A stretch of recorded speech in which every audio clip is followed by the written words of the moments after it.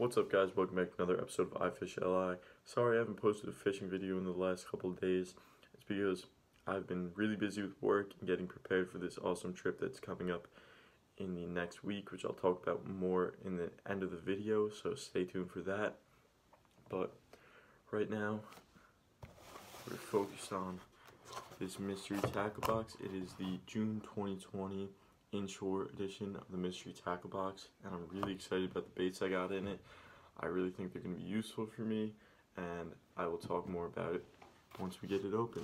So but first I just want to say I'm not sponsored by mystery tackle box at all but I really think that it's a great thing to get monthly because it really gets you to like step out of your comfort zone as an angler using lures you wouldn't typically typically use. You could learn new techniques which has happened for me. Like I've gotten lures in this box and I've ended up really liking them and just buying them again and learning a new technique from it. And also it ha it just increases your arsenal of lures. So if you wouldn't typically buy something and they're only biting on that that one day, you'll be you'll be lucky that you got the mystery tackle box because you'll have it in your box and other people might not. So I think it's a really, really good thing to get. So let's get right into this box. If I can open it.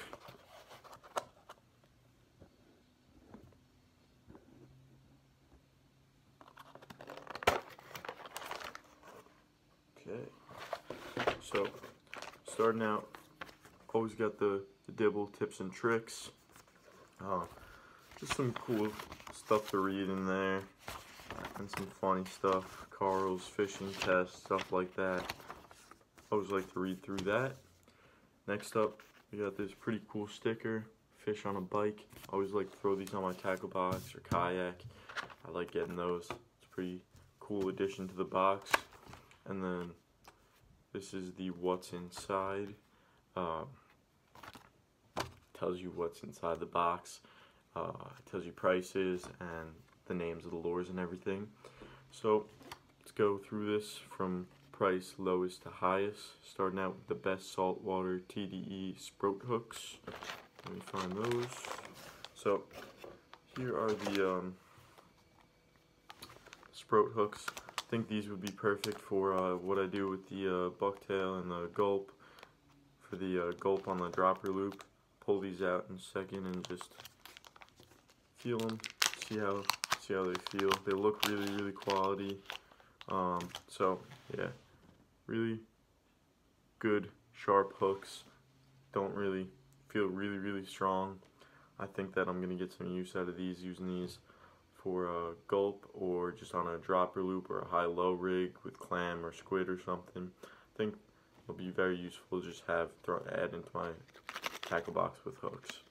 always like getting stuff like that.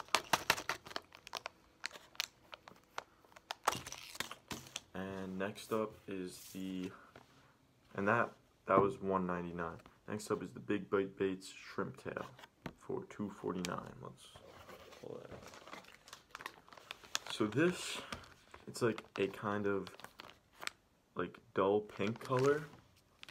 I think that this is gonna be killer under the lights and the piers I've been fishing lately. I think that the weak fish would slam this because I have been seeing weak fish on the lights, but I haven't been able to get any.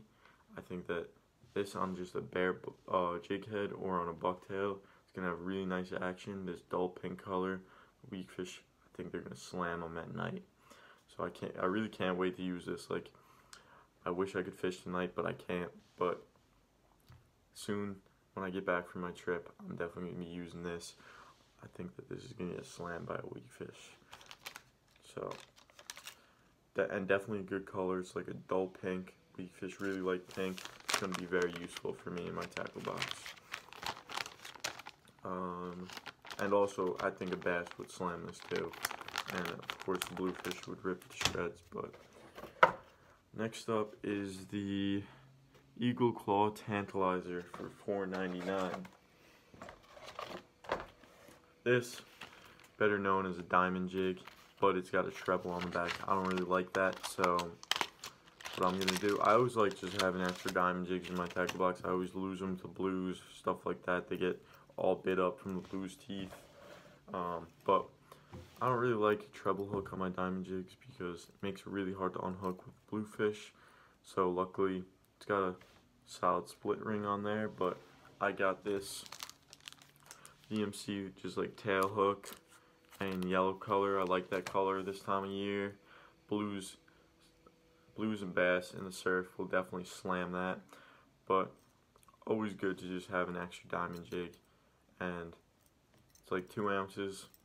I'm definitely going to be able to slice some fish on this. Um, yeah, so I'm going to be trying to do a mystery. The hook on this treble is super sharp though. I'm going to be trying to do a mystery tackle box slam with this box after I get back from the trip. So, yeah, this is the hook that I'm going to be putting on the back of that. And you can get these at Captree Bait and Tackle, $4. I think that's a really good deal. It's really, really quality VMC hook and a hand-tied um, bucktail on there. And we got a couple different colors at Capture. Next up is the Biospawn Exo Swim. So, I've used these before and I really, really love them. They've got such a great action on them, and this is a cool color that I've actually never used before. So these definitely, definitely slay in um, back bays for stripers and just either buzzing it right below the surface on a light jig head or just swimming it in slowly. Definitely going to get slammed by some stripers. I'll pull one out to show you guys. These Exo Swims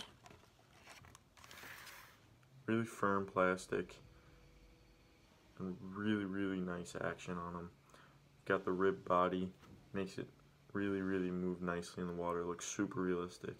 I've never gotten this color before. I'm excited to try this out. I think I'm even going to take it up on the trip with me which I'm going to talk more about at the end of the video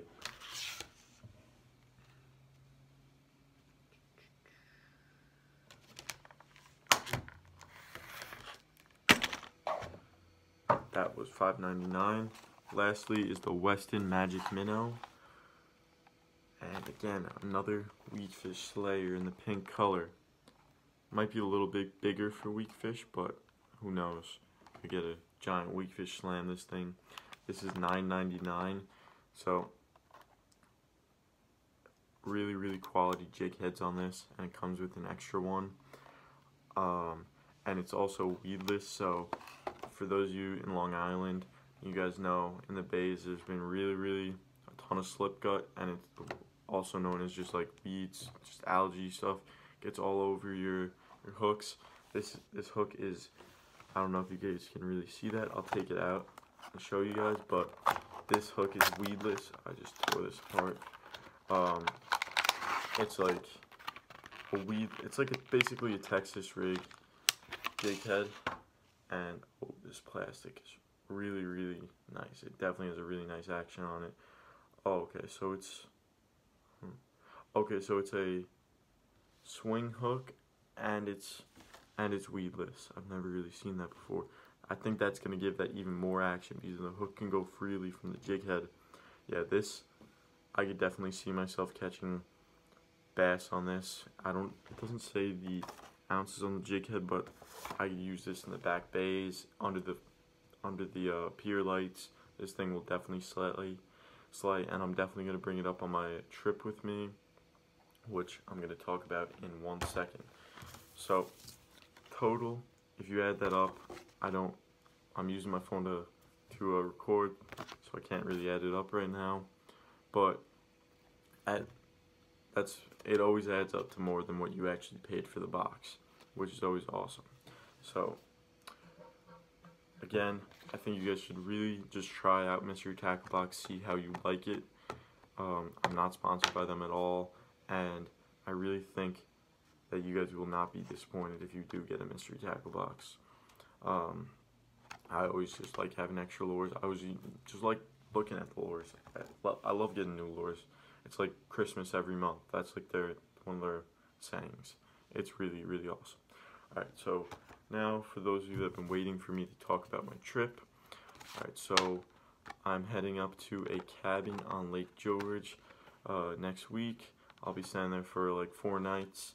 and I'm definitely gonna try and slay some smallies, get on some new species, and I think I'm gonna be able to get some pretty cool videos. I'll probably be able to make two to three videos from the trip.